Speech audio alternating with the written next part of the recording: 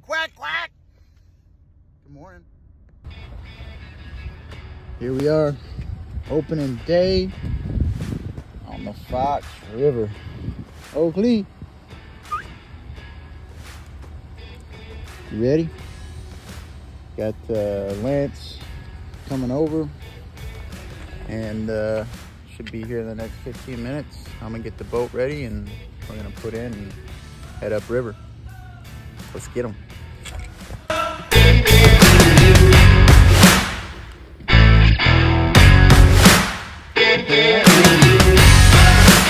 Opening day of duck season.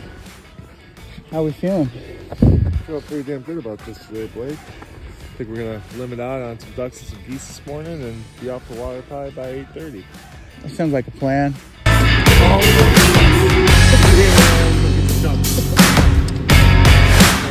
Oh, oh, oh, oh, yeah.